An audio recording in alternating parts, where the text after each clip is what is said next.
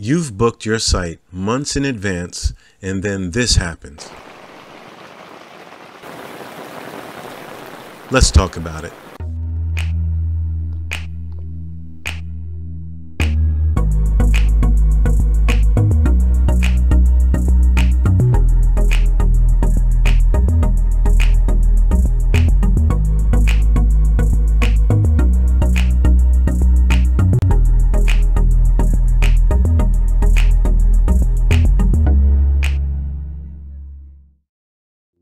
Hey everybody, so let's talk about this. You picked a great week to go camping, packed up all your gear, the weather guy says all is clear, not much to worry about. You set up your site, and now you're enjoying a good time with your family and friends. And all of a sudden,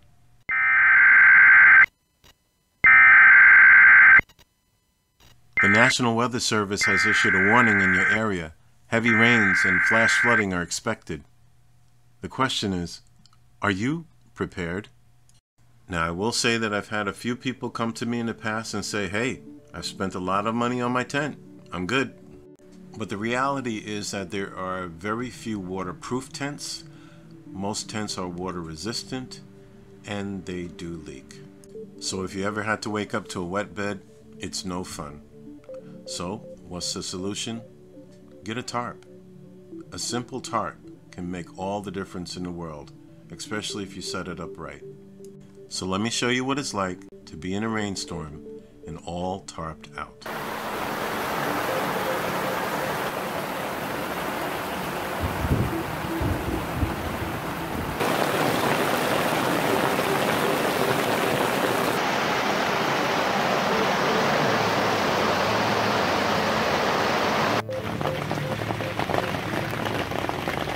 So we're in the middle of yet another downpour,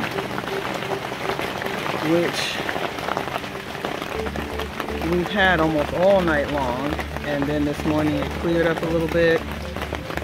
And um, we're just packing up in intervals. And then the shower just started.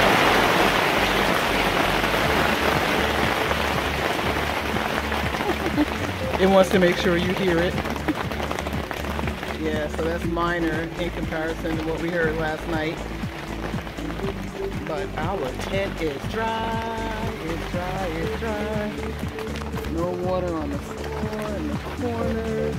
There was a monsoon last night. And we had no water, not a drop. Not even condensation. So happy about that. So as you just witnessed, we went through some pretty torrential downpours, but each time we remained dry. So let me share with you what we've done. We purchased a heavy-duty reflective tarp for our equipment. Besides providing rain cover, it keeps you nice and cool in the hot sun. We also made sure that when we purchased the tarp, it was three feet larger on each side of the tent than the footprint of the tent itself. On the four sides, we use extension poles with paracord. And on the corners, we'll use a flexible bungee cord. This allows the wind to go through without causing much damage. Now lastly, go to a hardware store and buy 10 to 12 inch nails.